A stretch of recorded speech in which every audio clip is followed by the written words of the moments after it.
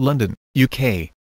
According to Area Zone 51 UFOs.blogspot, a mysterious unidentified flying object was spotted over the skies of London on May 25.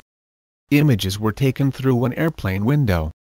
The witness said that the mysterious flying object was dark-colored disk with lights on either side flying above the cloud line.